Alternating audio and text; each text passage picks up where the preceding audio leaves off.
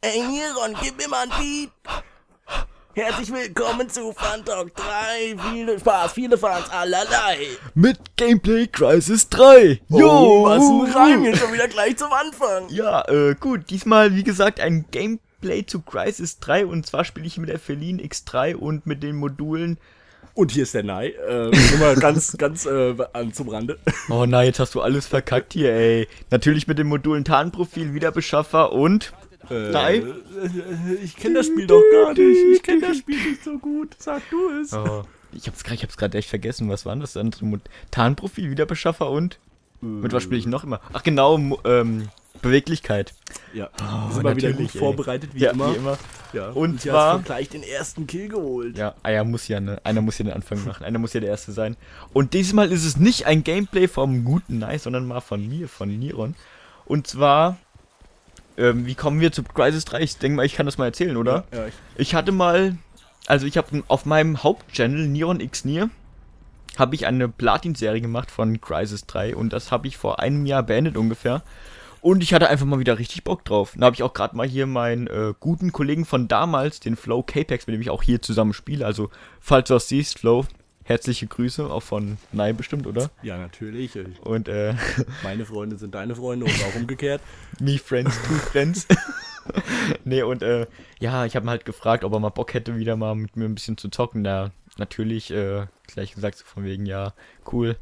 Und da dachte ich mir, komm, machst es halt einfach mal und zum Reinkommen, warum nicht, ne? Ja, und es scheint, als würdest du hier am Anfang mehr so auf den, äh, auf den äh, Stealth-Modus setzen. Also schleichst ja schon mehr oder weniger durch die Gänge. Das ist schon der erste große Fail des Games. Aber den hole ich gut ja, hier. das war souverän. Den hol ich gut. Das war souverän, klar. Ja, und dann hier sind- den Tarnmodus gesprungen. Gott sei Dank hat der mich nicht gesehen. Ich denke Ja. aber richtig, wenn richtig erfahrene Spieler, die sehen einen. Und da habe ich einfach gerade mal irgendwie sau Glück gehabt, dass er mich nicht gesehen hat.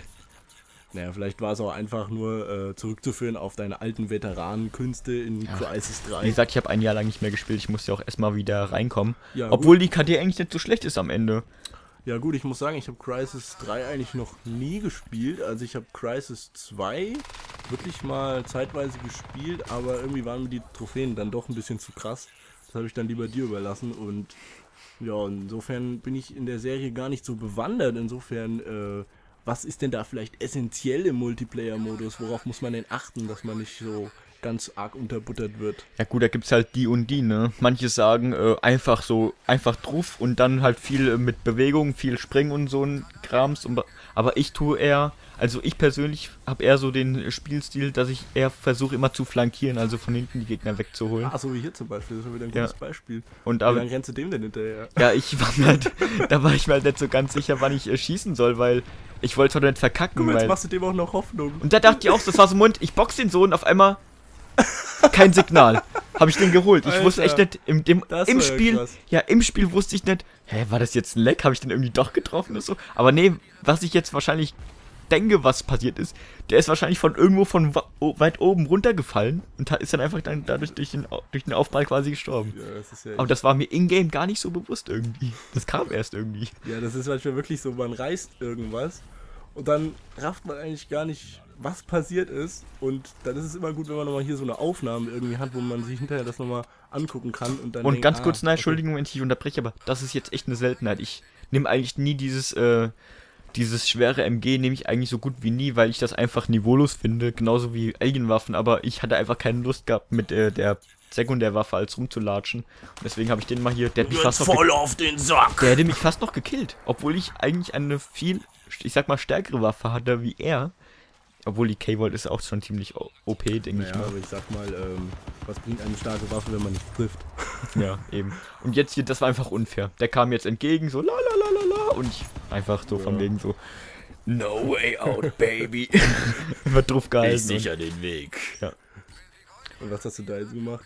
und da habe ich erstmal gewartet, bis ich meine Energie wieder aufladen konnte. Aber irgendwie Ja. wollte ich auch nicht. Und da habe ich einfach auch Glück gehabt, dass der das nicht Boah. gepeilt hat. Dass ich quasi um die Ecke kam und der hat wahrscheinlich auch überhaupt nicht damit gerechnet. Ja, war und da eigentlich Nahkampf keine Option? Oder? der war zu weit weg, glaube ich. Ja, wie gesagt, ich bin da ja nicht so ganz verwandert jetzt bei Call of Duty zum Beispiel. Da hätte man sich schön wahrscheinlich rangezogen mit dem Messer.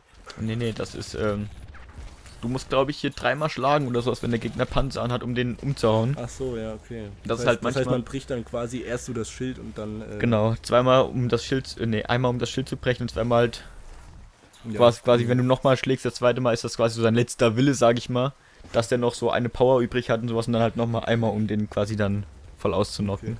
Da laufe ich den, len, da len, ich bin, ich bin Asiate, da lenne ich den hinterher. Da wollte ich zum Beispiel so einen Tarnkill machen, aber das hat irgendwie auch nicht funktioniert. Da hast du jetzt auch gerade zählen können, das War waren drei Schläge. Smackdown. Ja, das waren auch gerade drei, drei Schläge gewesen und ähm, hier oben verstecken sich halt auch gerne irgendwie äh, Sniper. Und das ist halt auch so eine, äh, die snipen die Leute auch gerne. Und ich habe das echt nicht gepeilt. Im Hast du Radar. quasi drauf gewartet, bis da einfach so eine Ja, nee. Sniperlinse rauslinst. Nein, ich habe auf dem Radar gesehen, dass da ein Gegner war, aber dabei war der das. Der war unten. Aber ich Also. habe halt da oben geguckt. Ich habe das, ich habe das echt nicht, ich habe das echt nicht gehalten in dem Moment. Naja, es sollte dir ja nicht zu Schuld gekommen sein, da hast du ihn ja doch noch geholt. Ja, Ja, du bist ja jetzt auch ganz schön lange noch nicht gestorben, oder? War das eine gute Runde? das war eine sehr gute Runde, ja. Ich glaube, ich habe zum, zum, äh, zu gegen Ende habe ich, glaube ich, sogar in, wie viel war das, äh, 23-2 oder so, meine ich, Okay. fertig gehabt oder so. Mit vier äh, Assists. Oh, hier. da machst du Der Luftsprung, da habe ich das ein bisschen verkackt, aber ich habe noch einen Assist abgestaubt. und Ja, und hier ja, der, der äh, Kollege, der da also äh, wie äh, Speedy Gonzales vor dir herschießt, das ist quasi dein Kollege, mit dem du da. Der Flow, hast. genau. Jetzt ist er in die andere Richtung. mit dem habe ich für, da mein erster Tod quasi Ja, und ja, das war okay. einfach, Das war gut, da hast du. da war er einfach, da war er einfach gut. Er kam, er hatte mich wahrscheinlich vorher gesehen oder Mhm. Das war auf jeden Fall. Und jetzt musst du ganz kurz gucken, jetzt sterbe ich nämlich nochmal. Aber wie? Pass auf, jetzt renne ich hier hin, denke mir so, ah komm, gehst mal wieder durch die Mitte, sind bestimmt viele Leute. Und dann hockt da einer, da, das habe ich dann im Moment gesehen, aber Ja. ich habe das, Ja, stimmt. Wenn man ganz genau hingesehen hat, hat Ja. man gemerkt, dass da diese Silhouette ist. ich habe den echt nicht gesehen. Ich weiß nicht, woran das, ich habe den einfach nicht gesehen. Ich bin einfach da stur drauf, so, dachte mir, oh, jetzt gehst du erstmal hier lang und guckst mal so ein bisschen dann hier rum. Nee, ich habe den echt nicht gesehen. Ach du ja, Scheiße. ich glaube, der arbeitet Teilzeit als Türstopper oder sowas. Ja, das, da, das halt auch wieder so ein bisschen, wo mir auch ein bisschen so die wieder die ein bisschen, ein bisschen, ein bisschen die Erfahrung fehlt. Aber ähm, ja, mittlerweile spiele ich es eigentlich wieder regelrecht gerne und Ja, ich glaube, Crisis äh, ist auch so ein Spiel. Es ist so anfangs sehr abschreckend, glaube ich, für Neulinge, weil man nicht so schnell reinkommt, glaube ich. Also bei Crisis muss man schon geübt sein, um irgendwie auch ein bisschen mitreden zu können, oder? Also so hatte ich jedenfalls immer das Gefühl, vielleicht war ich auch einfach nur schlecht, es aber ist, es ist am Anfang einfach nur, man muss sich vorstellen, man kommt in ein Kriegsgebiet und auf einmal sind alle weg, obwohl sie eigentlich nicht weg sind, aber sie sind halt unsichtbar. Ja, okay. Weißt du, wie ich meine? Ja, stimmt. Und man selbst läuft da rum und Ja. alles auf den Sack. Und Genau, praktisch- und Ja, genau. Aber irgendwann, du hast es glaube ich schon mal gesagt, wenn man sich drauf konzentriert, dann sieht man auch irgendwann die Leute, die sich Ja. quasi im man sieht, man sieht, man sieht halt so, so einen Umriss, so, genau.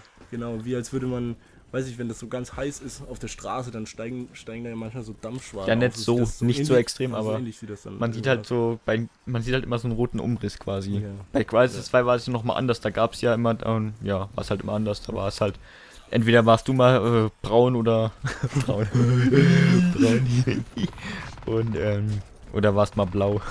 So, jetzt hast du hier quasi auch ein ja. Kampfschiff Genau. abgestaubt. noch nicht, noch nicht, das Noch kommt jetzt erst gleich noch. Ja, okay. Ich habe Oh, jetzt nochmal den Maximal äh, ja, wollte- äh, Nanosuit gehabt. schon sagen, du gehst da ja ab wie Schmitzkatze. Ja, da bist du quasi für kurze Zeit quasi unbesiegbar. Quasi, so. quasi. Und ja. Ja, das bist du doch auch so. Jetzt habe ich halt das äh, Self-Kampfschiff. Und das war auch, ich habe den Typ da aus dem Augenwinkel gesehen, geh nochmal zurück und flankiert, flankiert ihn quasi dann von hinten. Ja, taktisch sehr gut, ja. Ja. Da, das war, so mache ich es halt immer. Ich flankiere die halt gerne von hinten. Also, wenn ihr von hinten, ja, wenn ihr, wenn ihr von hinten mal abgeschossen werdet, das könnte wirklich sein, dass ich das eventuell war. Und da verkacke ich wahrscheinlich jetzt voll den Orbitalschlag. Also Frauen nehmt euch in Acht. Prepare your anus. Gibt's doch so ein Meme, gell? Ja. Mit, mit so einem Monster irgendwie. Oder ist das von äh, Star Wars oder irgendwie so? Keine Ahnung, ist auf jeden Fall sauwitzig. Prepare your anus. Tja, Und jetzt kommt auch gleich eine coole Szene, Freunde. Müssen wir du das, ja schon wieder so hinter pass auf, jetzt laufe ich dahin. Werd von hinten abgeschossen, versteckt mich erstmal kurz. Und jetzt müsst ihr darauf achten. Der Gegner, so, oh, ich hab den voll auf dem Schirm. Und dann kommt mein Kollege einfach von hinten und holt den von hinten einfach weg. So Ja. nach dem Motto, ey, ganz ehrlich, Tragt euren Scheiß woanders aus. Ich hab keine Zeit dafür. Genau. Ihr müsst euch vorstellen, ihr habt jemand auf dem Schirm, ihr ballert auf den drauf, habt ihn, habt ihn auf, einfach auf dem Schirm, Oh, schleicht euch der wieder, ja, ist er weg, schleicht euch wieder raus. Ich hab dich genau im Visier. Und nein, das war schon die nächste geile Szene hier. Der Typ wollte dich anscheinend so richtig frech mit der Panzerfaust holen und schießt einfach voll an dir vorbei, weil du im richtigen Moment hochspringst. Da hatte ich bestimmt auch so gedacht, oh, was? Da Warum? sieht ja die Gesetze der Physik aus. Warum? da wollte ich ein, Head ein Handy verpassen, aber das war irgendwie auch nicht so wie, Ja, okay, wie geplant. Da hat deine Waffe anscheinend auch ein bisschen zu wenig Durchschlagskraft. Hm, das kann sein. Durch den Panzer und so und. Ja, gut, das endet dann jetzt hier auch. Ja, 3, 2, 1. Okay, das war's. Zeit ist um. Der Zeit ist um, jetzt seht ihr nochmal die bisschen die Stats. MVP bin zufälligerweise auch mal ich geworden Ja, nach Leute. einem Jahr. Und der Flow natürlich dicht gefolgt von mir und Ja, da seht ihr mal wieder, mit wem ihr es hier zu tun habt. Nämlich mit Niron und Nai. Und wir sehen uns dann beim nächsten Gameplay. Vielleicht wieder von Fun Talk. Crisis 3 oder Fun Talk, dann von COD wieder. ja, mal gucken, wie, was, was wir so alles auf Butter kriegen und ja, dann macht's gut. Euer Niron und Nai, reingehauen.